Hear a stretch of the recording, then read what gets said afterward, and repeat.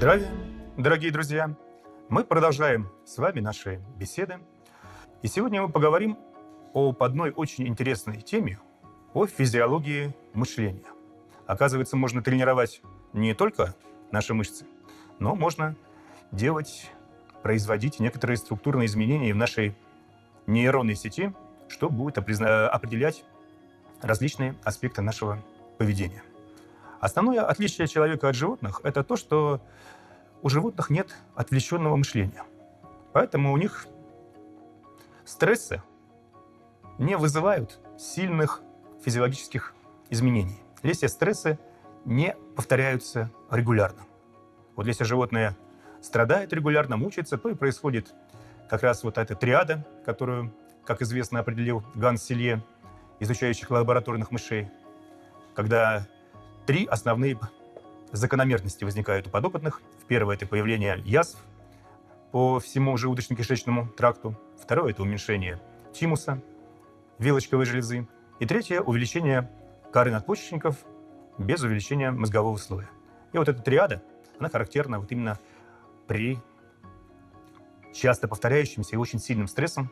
Или если это часто и долго, то, соответственно, это может привести к гибели животного. У людей подобные состояния могут возникнуть от гораздо более редких стрессовых воздействий. Вот именно потому, что люди способны переживать, вспоминать и по новой переживать одно и то же событие десятки и сотни раз.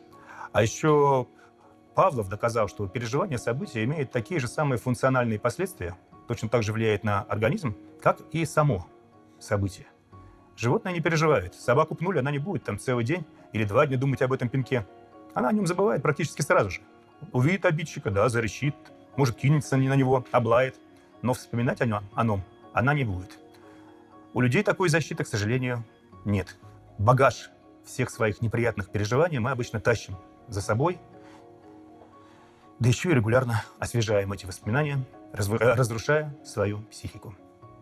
Но, как я сказал, об это, от этого можно, в принципе, и избавиться. Дело в том, что каждое наше неприятное переживание несет в себе какой-то физиологический отклик. Вот помните песню Круга? «Опять защемит грудь, и в душу влезет грусть». Так вот, здесь как раз ключевая, ключевая фраза «защемит грудь». Любое наше переживание и воспоминание об этом переживании сопровождается определенными физиологическими проявлениями. Защемит грудь, там может быть стало сухо во рту, может зачесаться какой-то участок, передернули, передернули плечами.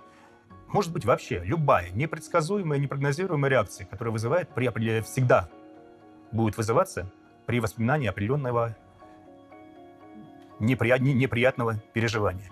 И вот с этими физиологическими проявлениями, проявлениями можно работать. И методика этого существует. Мне просто теоретически объяснили, что у нас существует согласование и рассогласование. Это была такая теоретическая часть. Согласование — это такая ситуация, когда ожидаемые параметры результата совпадают с реальными параметрами, и все это ведет к формированию положительных эмоций. А вот любое несовпадение ожидаемых параметров с реальными называется как раз рассогласованием. И это ведет к формированию негативных, отрицательных эмоций. И у нас существует четыре типа рассогласования. Первое – это рассогласование первого типа. Это когда другой человек ведет себя не так, как мы ожидаем. И, скажем так, более просто это можно назвать переживанием чувства обиды. Вас обхамили на улице, на вас не обратили внимания. То есть, когда другой человек делает что-то неожиданное, чего вы не ожидаете, для вас плохое, это как раз и является рассогласованием первого типа. Рассогласование второго типа. Мы сами. Мы сами ведем себя не так, как от нас этого ожидают другие. И ассоциируется это с чувством вины. Как в школе получил двойку, расстроил маму, чувство вины перед мамой. Что-то сделал такое, что уважаемый человек, который является для вас авторитетом, расстроился. Вы испытываете перед ним чувство вины. Рассогласование третьего типа – это когда наши собственные поступки не соответствуют нашим ожиданиям. И это называется чувство стыда. То есть, когда вы поступили не так, как должны были. Одно из самых сильных таких ярких рассогласований, которые чаще всего у практики встречаются у различных людей. И рассогласование четвертого типа – это просто ожидание неприятных переживаний, которые могут быть вызваны одним из вышеперечисленных трех рассогласований. Каким же образом у нас происходит занятие и борьба с рассогласованием? Но прежде чем я э, расскажу про нее, я хотел бы сейчас сделать некоторый экскурс в биологию. Потому что, как я говорил еще во вступлении, мы рассматриваем все именно с позиции биологии, с позиции тех морфологических изменений, которые происходят в нашем организме и которые, соответственно, и определяют такие либо функции. Помните, да, что без морфологии изменение функций просто-напросто невозможно. И для этого мы должны представить, что же собой представляет наша нервная система. Как мы видим, нервная система имеет две части. Это центральная нервная система, которая представляет собой головной мозг и спиной мозг, и периферическая, включающая в себя все остальное. Нервная клетка, еще она называется нейрон. Это и есть единица структурная нашей нервной системы. В головном мозге человека насчитывается порядка 85 миллиардов нейронов. Нейрон состоит из трех частей. Это тело нейрона, длинный выходящий отросток, который называется аксоном. От него поступают выходящие команды. И от тела нейрона отходит несколько более коротких отростков, которые называются дендриты. Это принимающие информацию каналы. Дендритам принадлежит 80-90% общего объема поверхности нейрона. И на каждом из дендритов есть такие боковые ответвления, боковые выросты, которые называются шипики. И вот этим шипикам и принадлежит ведущая роль как в процессе мышления, так в процессе запоминания, так и в процессе формирования различных двигательных навыков. Люди давно пытались понять, каким же образом у них происходит мышление, Долгое время считалось, что все процессы происходят в коре головного мозга, передаются от клетки к клетке.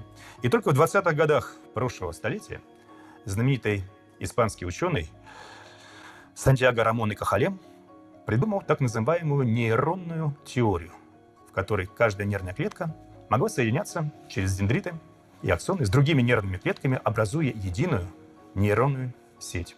Вот на слайде вы видите что собой представляет эта сеть? Один нейрон может через свои нервные связи, которые называются синапсом, реагировать и воздействовать с 20 тысячами других нейронов.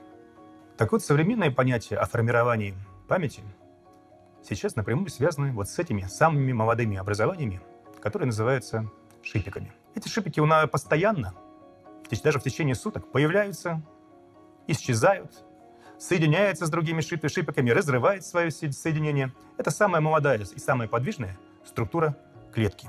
Разобраться, как происходит новые запоминания, помогли соответствующие исследования. И Вэнь Бяогань и его сотрудники из Нью-Йоркского университета использовали в своих опытах генно-модифицированных мышей. У данных мышей Некоторые нейроны коры головного мозга производили желтый флуоресцирующий белок. И это позволяло вести наблюдение за процессами, проходящими у них в мозгу, без вскрытия черепа, при помощи двухфотонного лазерного микроскопа. И вот, как вы видите на этом слайде, мышей обучали бегу по вращающемуся цилиндру. Это трюк, который, безусловно, требует определенного навыка. И, как зафиксировали ученых, что у тех мышей, которые проходили обучение, на 7% больше появилось новых шипиков. А мы учитываем, что каждая нервная клетка имеет 4000 шипиков, а в мозгу у нас миллиарды нервных клеток. Кроме того, ученые засекли такой факт, что при продолжении однообразных движений рост дальнейших шипиков прекращался. Как только зверек овладевал определенным навыком, у него формировались новые, новые шипико-шипиковой связи, дальнейший рост шипиков останавливался. Он был уже не нужен. Нужные пути были сформированы, и, соответственно, по ним информация уже спокойно проходила. Появление шипика само по себе говорит, что в этом месте нейрон готов создать с другим нейроном синапс, то есть контакт, по которому они будут обмениваться информацией. Таким образом и образуются эти нейронные цепи, и каждый двигательный навык образует достаточно большое количество этих связей. Например, у данных мышей обучение бегу по цилиндру потребовало образования порядка 1 миллиона новых шипика-шипиковых связей. Так вот, в нашей повседневной жизни у нас постоянно, практически каждую секунду образуются какие-то новые, новые шипика-шипиковые связи, на которых и приходится наша кратковременная память. Эта память, эти связи очень быстро распадаются, если не повторяются. То есть если через них не проходит электрический ток повторно, то все это не переходит в разряд, в разряд промежуточной, а уж тем более в разряд долговременной памяти. И, соответственно, поэтому больш, большую часть информации, с которой мы сталкиваемся в течение дня, мы благополучно забываем. Но наиболее сильную информацию, она у нас уже, скажем так, становится очень такой весомой. Избавиться от нее подчас бывает сложно. Дело в том, что если ток постоянно проходит через шипиковое соединение, а мы знаем, что наши нервные клетки посылают свои импульсы, схожие по структуре с, электрическими импульсами. Так вот, при регулярном прохождении импульса через э, определенное шипиковое соединение, шипики начинают уплощаться и расширяться. Соответственно, дендриты разных клеток притягиваются друг к другу, и рядом образуются новые шипико-шипиковые соединения. То есть данный путь, данная цепь становится более, скажем так, сильной. Каждое двигательное действие, которое мы умеем выполнять, ездить на велосипеде, ездить на коньках, оно обусловлено как раз определенному количеству, миллиону или больше миллиона шипиковых связей, которые могут разрушиться, а некоторые, которые мы особо долго использовали, остаются с нами на всю жизнь. Но даже эти шипиковые связи, оказывается, можно удалить. И специалисты Института поведения в своих опытах добивались того, что разучивали людей ездить на велосипеде. То есть, казалось бы, навык, как и плавание, езда на велосипеде, это то, что если в детстве научился, погонял одно время, то остается на всю жизнь. Оказалось, нет. Оказалось, используя определенные методики, можно разрушить данные шипиковые связи и полностью потерять этот навык. Это не значит, что потом нельзя научиться ездить снова. Это возможно. Но начинать учиться придется с нуля. Ничего в памяти из того, что могло бы помочь обучению, не сохранится. Данная тема стала популярна и в кинематографе. Можно вспомнить, например, оскароносный фильм Мишеля Гондри «Вечное сияние чистого разума», где в специальной фирме у людей стирали ненужные им воспоминания. Или наоборот, вспомнить фильм боевик с Арнольдом Шварценеггером «Вспомнить все». Или вот новую версию данного фильма уже с Кольным Фарреллом в главной роли. По сюжету фильма здесь наоборот. Человеку насаждают те воспоминания, которых у него не было. И надо сказать, что современные методики делают это совсем не фантастическим, а вполне реальным вариантом. То есть мы можем, ведь мы помним, что представление о событии имеет такое же физиологическое значение, как и само событие. То есть мы можем представить себе то, чего не было, сформировать определенные шипиковые связи, и они будут хранить уже новую память, хранить то, чего не было. Но об этом поговорим чуть попозже. В нашем случае мы должны понять, что вот эти вот шипиковые соединения и прочность этих соединений и формируют наше поведение, нашу реакцию и наше мышление. Известно, что большинство неприятных переживаний мы несем с собой с самого детства. То есть, будучи там первоклассником, обидел какой-то старшеклассник, унизил как-то. И вот это оставшееся в детском разуме рассогласование, бывает, человек проносит чуть ли не до старости. Потому что тогда, когда это было все свежо, когда это было ярко, бедный ребенок переживал и много-много раз вспоминал это событие, и там образовались уже такие прочные шипиковые соединения. Этот человек постоянно возвращался к ним просто при любом намеке на данную ситуацию, увидев любой предмет, который был каким-то образом там задействован. и делал эти связи еще более сильными, еще более прочными. Итак, на примере рассогласования первого типа, который, как вы помните, характеризуется чувством обиды. То есть когда другое лицо ведет себя не так, не оправдывает ваших ожиданий. Продавщица в магазине расстроила. Вы подошли, а она там сидела, эти смс набирала, не обращала на вас внимания, да еще и нахамела, когда вы просили обратить внимание на вас. То есть ситуация бытовая, кто-то ее пропускает абсолютно мимо сознания, а кто-то, наоборот, вот это вот чувство обиды начинает у него вызывать злость. Вот он вышел, опять вспомнил, как на него не среагировали. Вот она какая мерзавка, ведь еще и обхамила, а потом еще раз вспомнил, еще раз вспомнил, и в течение дня Получается, его уже несколько раз обхамили, несколько раз он уже испытал данную неприятную эмоцию. Как это убирается? Нужно на бумаге. Полную версию программы смотрите на Славмир ТВ. Ссылка в описании.